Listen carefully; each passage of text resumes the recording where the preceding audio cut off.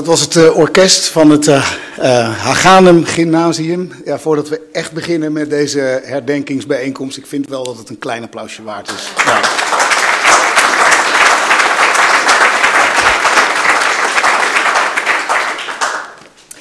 Geachte dames en heren, namens het perscentrum Nieuwspoort heet ik u van harte welkom bij deze herdenkingsdienst, deze herdenking voor het vrije woord. Um, in het bijzonder uh, heet ik welkom uh, de genodigden, de voorzitters van de Tweede en Eerste Kamer, de leden van het parlement, minister-president, welkom. En um, even kijken, de burgemeester van Den Haag, hartelijk welkom. En uiteraard uh, alle andere mensen, kinderen ook. En collega-journalisten in het bijzonder. Um, de gastspreker vandaag is Kadisha Ariep, voorzitter van de Tweede Kamer. En zij zal straks na mijn verhaal en na de muziek van het uh, orkest van het uh, Haganum Gymnasium zonder verdere introductie spreken. Dames en heren, ja, ik ben Michiel Breedveld. Ik ben verslaggever van het NOS-journaal en lid van de Raad van Toezicht van Nieuwsport. En uh, ik ben de zoon van een journalist, Willem Breedveld, de politiek verslaggever commentator van het dagblad Trouw. Hij is er niet meer, helaas. Uh, hij heeft het grootste deel van zijn leven hier gewerkt op het Binnenhof in vrijheid en met trots. Hij was de oprichter van het genootschap Vrienden van het Vrije Woord. En ik dacht daarbij aan een exclusieve club van doorgewinterde journalisten, de vrienden van het vrije woord, de trotse bewakers van de democratie en de hoeders van de vrije samenleving. En dat allemaal met het vrije woord. En daar wilde ik natuurlijk bij horen, als beginnend journalist. Ik zal u uitleggen dat van exclusiviteit van dit genootschap totaal geen sprake is.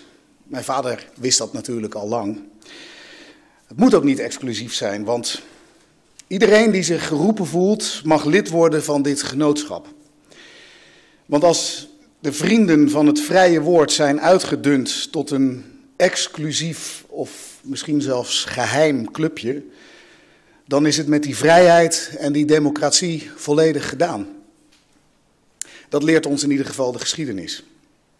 Aan de muur voor Nieuwspoort hangt het herdenkingsmonument. Het is een relief van Rudy Rooijakkers. En daar zullen wij straks kransen leggen om te herdenken de mensen die hun leven gaven voor het vrije woord omdat ze opkwamen daarvoor om mensen van informatie te voorzien.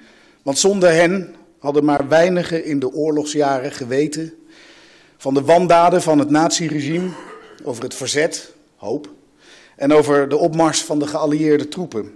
En zij gebruikten dat vrije woord als wapen, als wapen tegen de onderdrukking. En de tekst is eigenlijk nog bijzonderer. Dat is de tekst van Jan H. de Groot, hoort het vrije woord, bedreigt, versmoort, brengt in de nood zijn vechters voort tot in de dood. Schrijver Jan de Groot waarschuwde al voor de oorlog voor het gevaar van het nazi-Duitsland. Zo schreef hij in 1938 al een felle aanklacht tegen het uh, naziregime van Hitler, die zich, en dan citeer ik, God laat noemen, zijn eigen wens verhoort en als de duivel zit op elke jodenziel en zijn trawanten en zijn trawanten als beesten loslaten op hun goed en bloed. Nog een keer de tekst hoort. Het vrije woord bedreigt, versmoort, brengt in de nood zijn vechters voort tot aan de dood. Jan de Groot was voor de oorlog een overtuigd pacifist. Maar de onderdrukking en het geweld en het onrecht maakten daar goed een einde aan. Hij riep op tot gewapend verzet. In zijn verzetsbundel die hij uitgaf om de zoveel tijd in de oorlog. Dus geen krant, maar een dichtbundel. Uh, om land en hart heette die bundel. Vlak voor, het, uh, voor de bevrijding nog staat een gedicht, Executie Weteringplantsoen. En dat is geschreven naar aanleiding van de terechtstelling op 12 maart 1945 van 30 Nederlanders als wraak voor een aanslag op Router, de hoogste SS'er in Nederland. En ik citeer de eerste en de laatste strofe. Ik heb het niet gezien. Men heeft het mij niet verteld. Ze werden tien om tien voor het peloton gesteld. En daarom zal ik staan met een gericht geweer en rustig leg ik aan en rustig schiet ik neer. We herdenken vandaag die tijd. En we herdenken in het bijzonder de mensen die hun leven gaven voor dat vrije woord. En het is goed om ons af te vragen wat wij van, van hen kunnen leren. Natuurlijk, dat wij ons verzetten tegen onderdrukking. En dan is er nog veel werk te doen. Dat leert ons het nieuws van gisteren, de internationale dag van de persvrijheid. Want daarmee is het droevig gesteld, als we eerlijk zijn. Het Comité ter Bescherming van Journalisten in New York becijferde gisteren dat vorig jaar wereldwijd opnieuw veel journalisten het leven lieten. 69 zijn er vermoord. En andere organisaties schatten dat er nog zeker 45 zijn waarvan de dood eigenlijk niet goed te verklaren is. Dus meer dan 100. En dan andere cijfers, ook weinig hoopgevend. Slechts 13 procent, dat is weer minder dan het jaar daarvoor, van de wereldbevolking woont op een plek met vrije pers. En het wordt erger. De internationale organisatie Reporters Without Borders stelt in de jaarlijkse persvrijheidsmonitor dat er sprake is van een, wat zij noemen, een diepe en verontrustende daling van de persvrijheid in de wereld. Op de jaarlijkse ranglijst steeg Nederland naar een tweede plek, omdat wij hier natuurlijk, we kunnen kanttekeningen plaatsen, maar wij hebben de persvrijheid hoog in het vaandel staan. Zo pleitte de Tweede Kamer gisteren nog voor een, een, een fonds voor vervolgde journalisten in het buitenland, naar aanleiding natuurlijk van de kwestie Ebru Umar. Maar gemiddeld genomen holt het dus achteruit. Denk aan Rusland, Turkije, Syrië. Maar zelfs in de Europese Unie gaat het achteruit. Zie bijvoorbeeld Polen. Don't wait to be deprived of news before defending it. Dat is het motto van Reporters Without Borders. Verdedig de vrije pers voordat het te laat is, zegt deze journalistenorganisatie. Maar wat is het moment om in actie te komen? Wat is het moment om in verzet te komen of te vechten? Om te vechten voor het vrije woord. Vorig jaar sprak hier Hanny van Leeuwen, oud-Kamerlid en belangrijker nog, voormalig lid van het verzet. En zij gaf antwoord op die vragen. Zij zei vorig jaar: Wij kunnen omzien in dankbaarheid, zo sprak zij. Maar we moeten voortdurend blijven bouwen aan een verdraagzame wereld voor jong en oud. Herdenken is het verleden laten leven in het heden. En vrijheid is een opdracht. Het kweken van geestelijke weerbaarheid tegen onvrede en intolerantie. De vrijheid dus als permanente opdracht. En met die wijze les in het achterhoofd lees ik nog één keer die prachtige woorden van Jan de Groot op het monument aan de gevel van Nieuwspoort.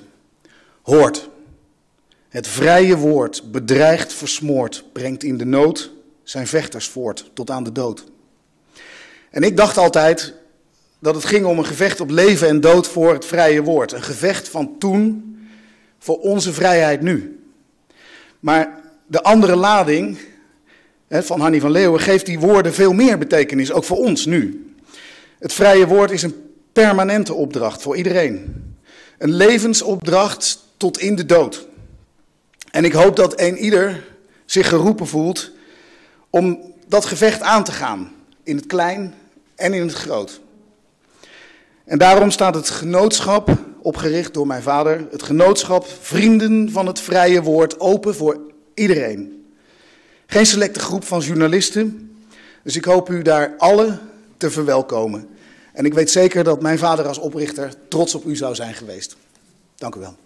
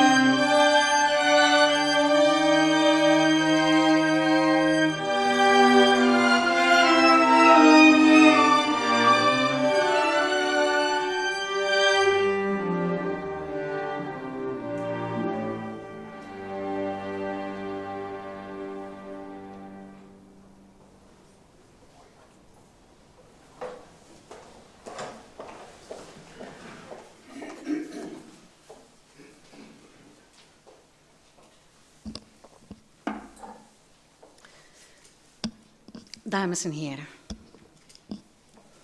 Ik ervaar het als heel bijzonder om juist op deze dag bij u te zijn. Wat is er passender dan om juist vandaag te spreken over een thema dat al sinds de herziening in 1848 in onze grondwet is verankerd, maar tegelijkertijd onverminderd actueel is: het vrije woord. Praten over vrijheid kan niet zonder door te dringen tot de betekenis van 4 mei. Het is het moment waarop wij, juist hier in het perscentrum Nieuwspoort, stilstaan bij hen die de strijd voor de vrijheid van het woord hebben moeten beperken, bekopen met het verlies van het eigen leven. Zij betaalden de prijs voor onze vrijheid nu. Wij eren ze door in ons handelen betekenis te geven aan het thema dat het Nationaal Comité 4 en 5 mei voor dit jaar heeft gekozen. Geef vrijheid door. Want uw werk als pers is onlosmakelijk verbonden met het thema het vrije woord. Zonder vrij te spreken kun je niets doorgeven. Het doorgeven van vrijheid moet doorgaan, ook nu er steeds minder mensen, minder mensen zijn die de Tweede Wereldoorlog zelf nog hebben meegemaakt. Er zijn steeds minder mensen die nog angstig zijn als ze hun ogen dicht doen en terugdenken aan die tijd. Er zijn steeds minder mensen die nog altijd worden achtervolgd door de zwarte herinneringen, door verlies en verdriet. Daarover uit de eerste hand vertellen kon Jules Schelvis, die dit jaar op 95-jarige leeftijd is overleden. Van alle mensen die vanuit Nederland zijn getransporteerd naar vernietigingskamp Sobibor in Polen, overleefden slechts 18 het kamp. Van zijn transport was Jules Schelvis zelfs de enige overlevende van 3006 mensen. Als geen ander heeft Jules Schelvis met zijn internationaal toonaangevende publicaties, waaronder zijn vernietigingskamp Sobibor, doorgegeven wat voor verschrikkingen er hebben plaatsgevonden. Wij zijn hem dankbaar dat hij de kracht had zijn ervaringen met ons te delen. Zo heeft hij het voor ons allemaal mogelijk gemaakt om zijn verhalen weer door te vertellen. Want hoe het echt voelt, hoe het echt was, hoe kom dat kom je juist te weten wanneer je luistert naar de verhalen van de mensen die er zelf bij waren.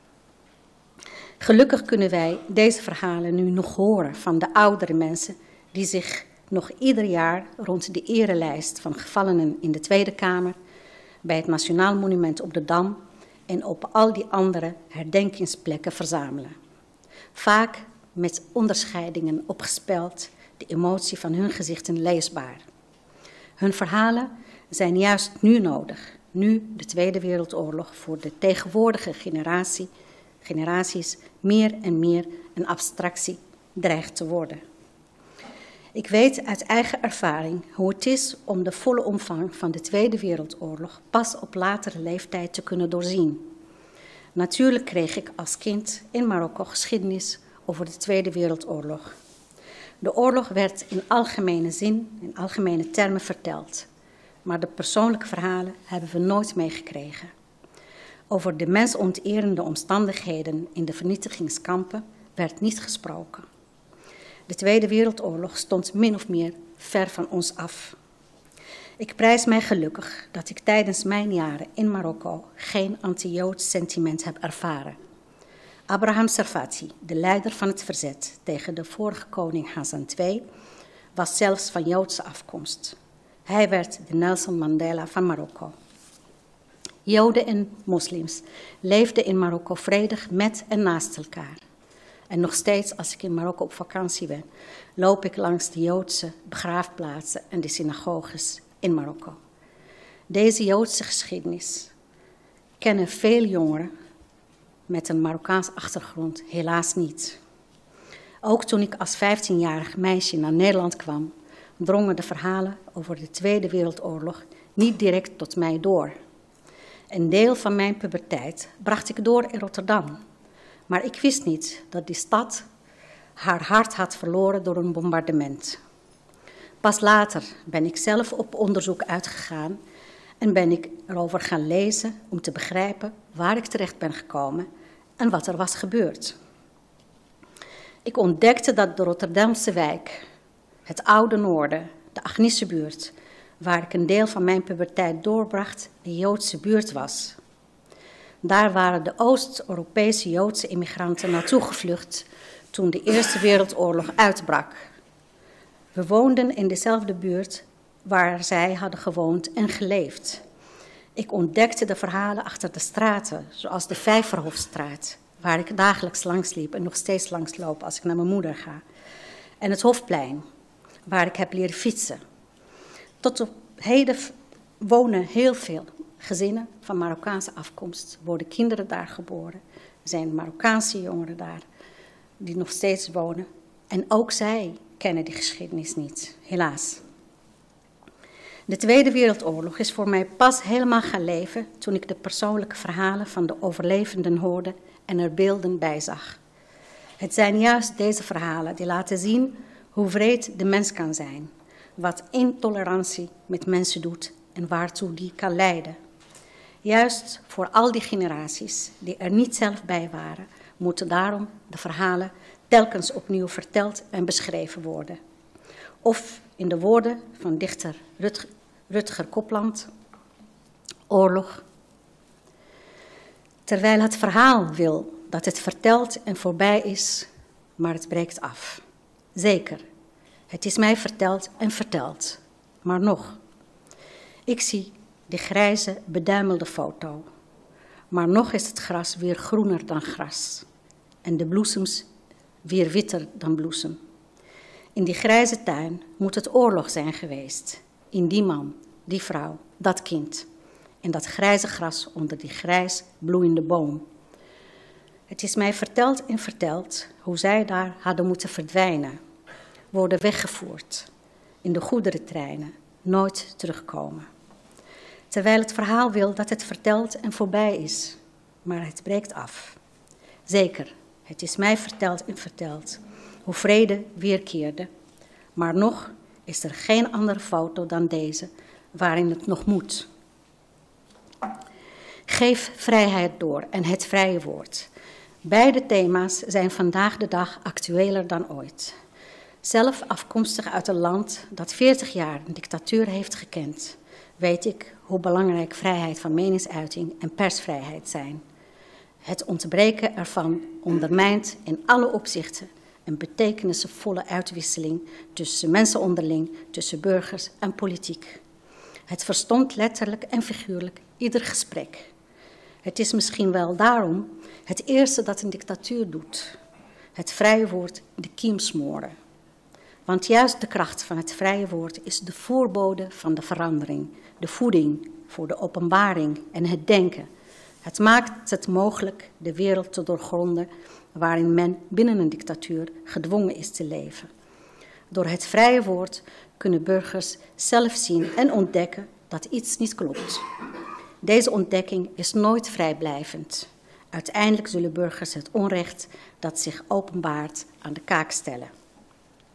Met het vrije woord ontstaat het inzicht, het schrijven, dichten, publiceren en het publieke debat zijn daarom ook een vorm van zelfstandig handelen dat kan uitmonden in verzet tegen de zittende macht.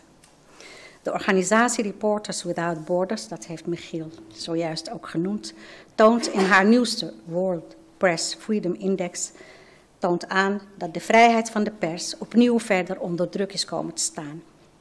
Wij mogen ons gelukkig prijzen, zeker in internationaal perspectief, met een tweede plek in deze index. Daar mogen we best trots op zijn. Maar helaas is er wereldwijd een verontrustende marginalisering van de persvrijheid gaande. Dictatoriale en autoritaire regimes in Afrika, Azië, Latijns-Amerika en het Midden-Oosten schromen niet voor de onderdrukking van het vrije woord. Verslaggevers, cameramensen, columnisten, bloggers en cartoonisten worden gearresteerd, bedreigd, mishandeld en zelfs vermoord. Was de bedreiging van het vrije woord lange tijd ver bij ons vandaan, nu komt zij steeds dichterbij. De afgrijzelijke aanslag op 7 januari 2015 op het hoofdkantoor van het satirische weekblad Charlie Hebdo in Parijs staat in ons geheugen gegrift. En in Polen, dat is ook zojuist genoemd. Het land dat in 2014 nota bene 25 jaar van vrije democratie heeft gevierd, heeft aan het begin van dit jaar een omstreden mediawet getekend, de inhoud dat de regering zelf de directie en hoofdredactie van de publieke omroep kan benoemen en ontslaan. In het huidige Turkije, dat zo graag wil, lid wil worden van de Europese Unie, zien wij dat de vrijheid van meningsuiting en de persvrijheid steeds verder in het gedrang komen. Met het ontslag van hoofdredacteur Abdelhamid Bilici heeft de kritische Turkse krant Zaman haar kritische houding en toon verloren. Het is een onaanvaardbare inperking van de ruimte voor het vrije woord.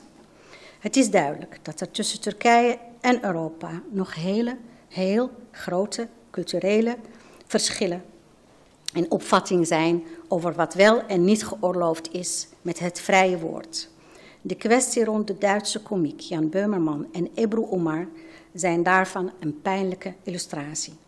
Beiden hebben op hun eigen wijze hun opvattingen bekendgemaakt. Ik neem aan dat zij hun woorden, hun woorden wel overwogen hebben gekozen. Je kunt het ermee oneens zijn. Je kunt bezwaren hebben tegen de gekozen formuleringen en bewoordingen. Maar laat duidelijk zijn dat het niet aangaat dat de zittende macht van bovenaf bepaalt hoe en wat wel of niet mag worden gezegd of geschreven. Laat staan dat er ook maar enige legitimiteit kan zijn voor het ontnemen van de vrijheid van een andersdenkende. Het vrije woord, de vrijheid van meningsuiting, is de drager van de democratie.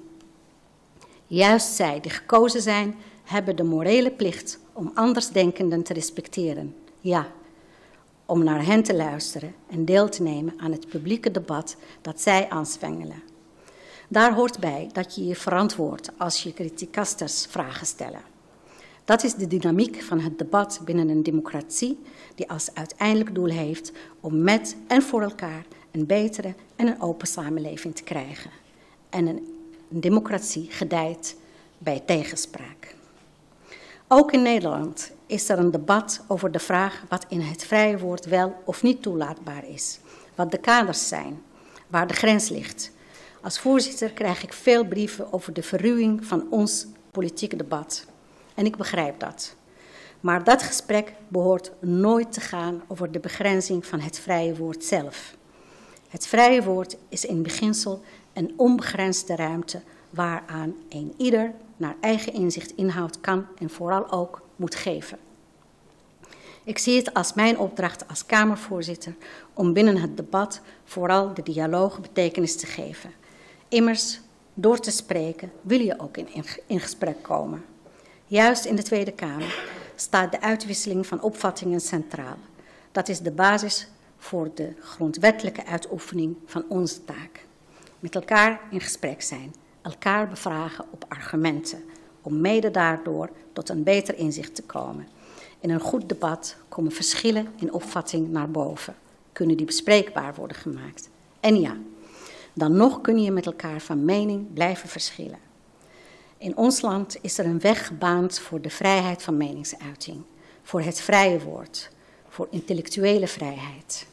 Na de Tweede Wereldoorlog is die weg, dankzij al die mensen die we vandaag herdenken, steeds breder geworden. Wij zijn, hen, wij zijn het aan hen verplicht om zorgvuldig met onze vrijheid om te gaan. Om de waarden waar we, waarmee we invulling geven aan onze vrijheid niet te verloochenen. Onafhankelijke journalistiek is daarin een absolute voorwaarde. Zij speelt daarin iedere dag opnieuw een cruciale rol. Want daarop is onze democratie gebouwd. Op vrijheid, op persvrijheid, vrijheid van meningsuiting en respect voor andersdenkenden. Graag wil ik mijn betoog afronden met een persoonlijke noot en met een mooi gedicht van Remco Kampert. In onze samenleving stonden en staan waarden als gelijkheid, tolerantie en godsdienstvrijheid hoog in het vaandel. Ik hoop dat wij met elkaar de openheid die ik heb ervaren toen ik naar Nederland kwam en die ik nog iedere dag voel als een grote verworvenheid en ook zo ervaar, ook in de toekomst blijven koesteren. In de woorden van Remco Kampert. Verzet begint niet met grote woorden, maar met kleine daden. Als, zoals storm met zacht geritsel in de tuin, of de kat die de kolder in zijn kop krijgt. Zoals brede rivieren met een kleine bron verscholen in het woud. Zoals een vuurzee met diezelfde lucifer die een sigaret aansteekt. Zoals liefde met een blik, een aanraking, iets dat je opvalt in een stem. Jezelf een vraag stellen. Daarmee begint verzet en dan die vraag aan een ander stellen. Dank u wel.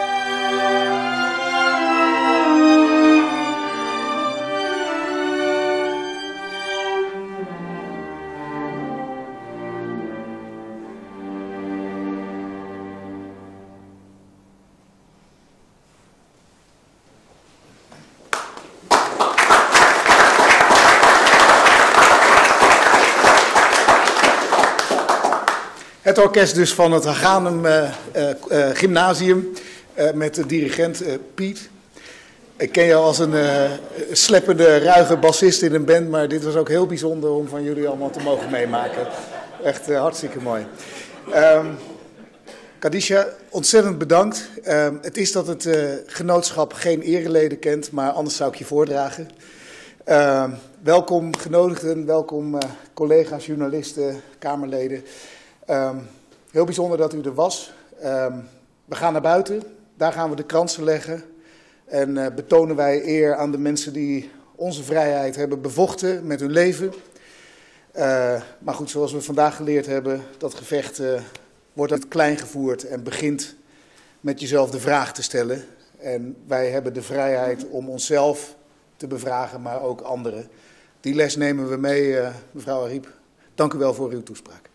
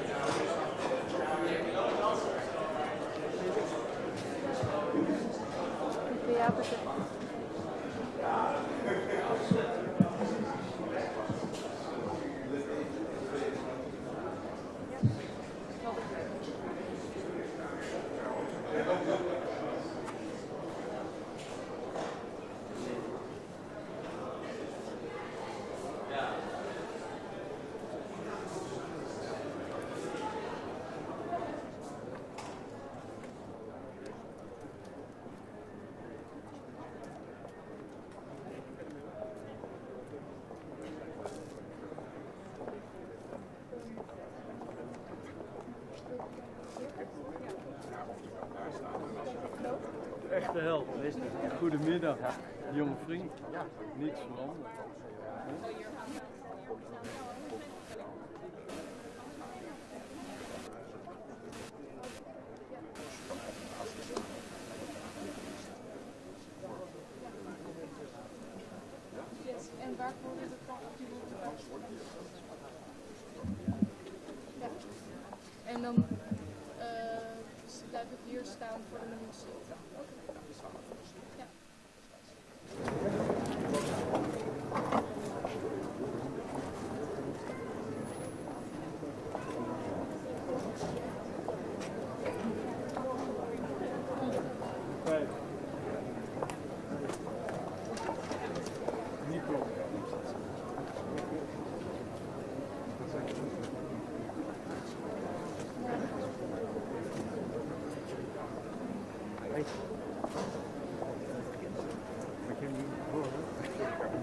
o'clock. Eight.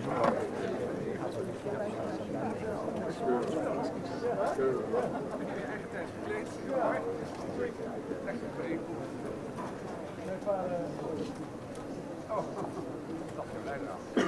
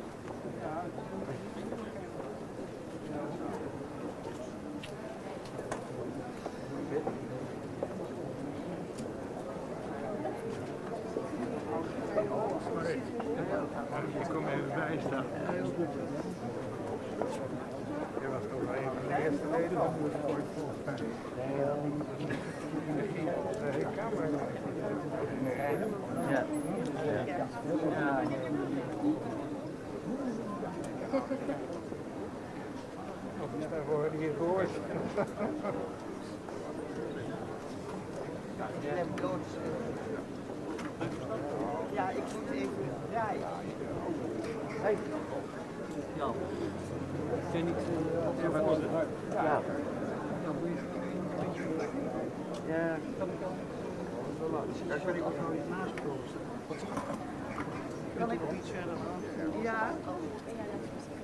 Ik kom maar hier staan. Ja, ja, kom, kom. Dan moet je wel de hand geven. Dat is niet beleefd. Zie je nog wat? Op zo'n dag.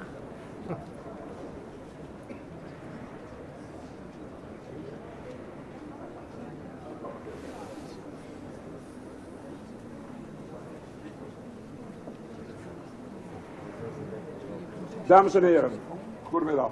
Welkom op deze herdenkingsplechtigheid waar de kransen gelegd zullen worden ter nagedachtenis van alle gevallen journalisten uit de hele wereld. Mag ik dan nu vragen de heer Michiel Breedveld te verzoeken de krans namens Internationaal Perscentrum Nieuwsport neer te leggen.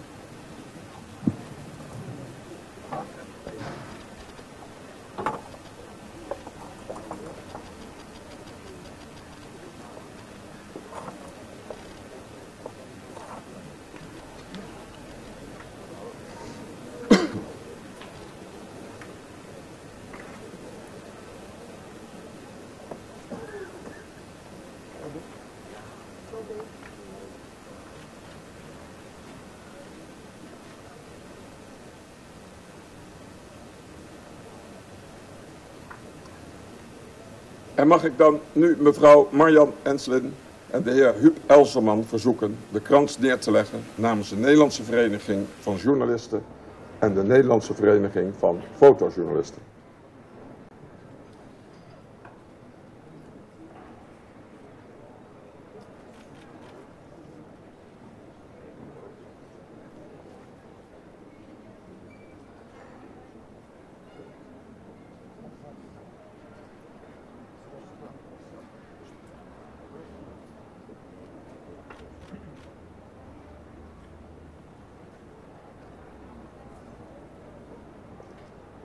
En mag ik dan nu de heer Jan Hennop verzoeken de krans namens de Buitenlandse Persvereniging neer te leggen.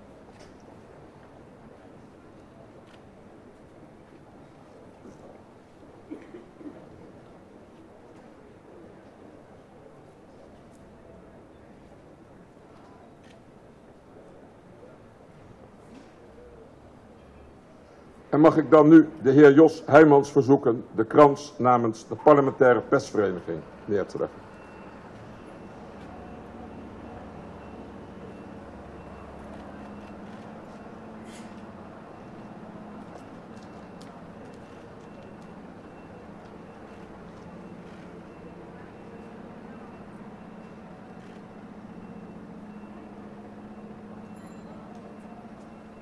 En mag ik dan nu de dames Tanja van Bergen en Margot Smit verzoeken de krans namens de Vereniging van Onderzoeksjournalisten neer te leggen.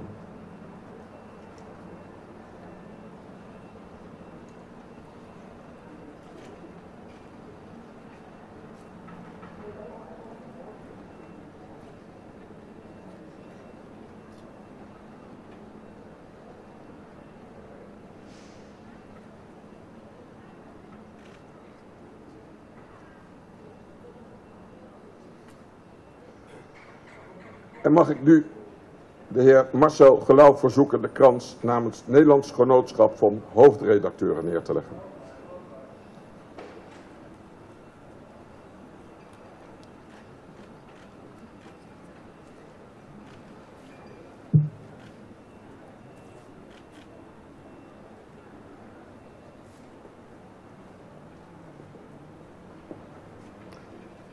En mag ik burgemeester van Den Haag, de heer Josias van Aartsen, verzoeken de krans namens de gemeente Den Haag neer te leggen.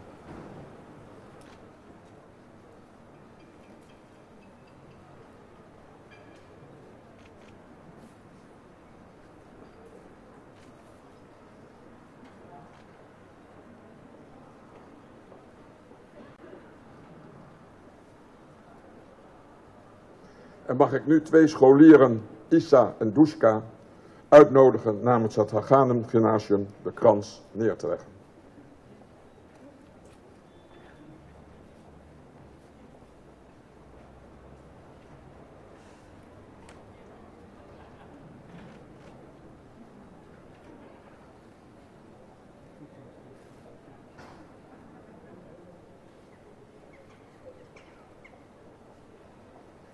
Voordat de minuut stilte in acht genomen wordt, wordt nu eerst het gedicht Tot de doden van Ed Hornik voorgedragen door Rebecca Baruch.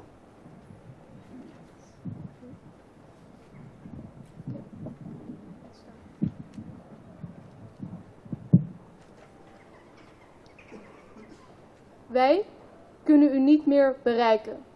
Wij komen een zintuig tekort. We leggen ons neer bij de feiten dat gij minder en minder wordt. De enkele keren dat gij in dromen nog ons verschijnt, wordt gij al eiler en eiler, tot gij voor altijd verdwijnt. Straten houden uw namen voor heden tot morgen in stand, maar onze kinderen brengen ze niet meer met u in verband. Het land ligt nog net als het toen lag, van polder tot polder te kijken. De mensen die erin wonen, blijven zichzelf gelijk. Maar eenmaal per jaar is de stilte tot de hemel toe van u vervuld. En beleiden wij zonder woorden onze dankbaarheid, onze schuld. Dan nu graag één minuut stilte.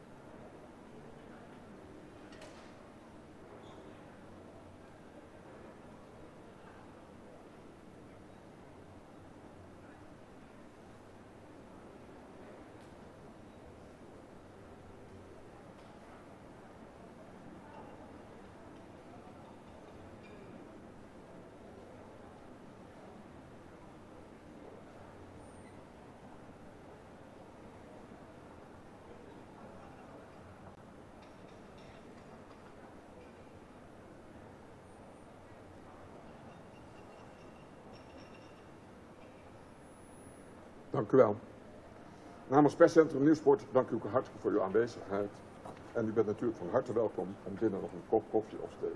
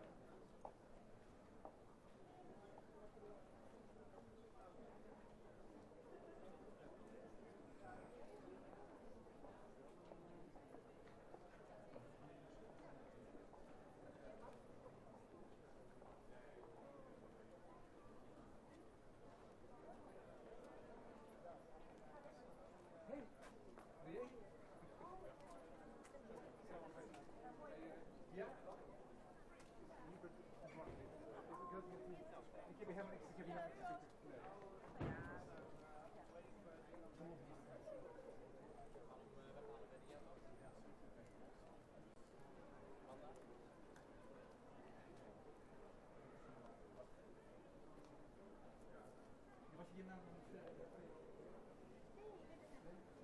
Ja. Ah, oké. Oké, oké.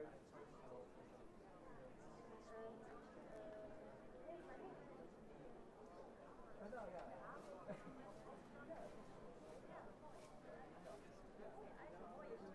Ja, ja, gewoon dat je toevallig hebt. Ja. En dan een beetje. Nee, weet je, eh, eh, nee, helemaal niet. Ik zie je de Kuiper. Zeker.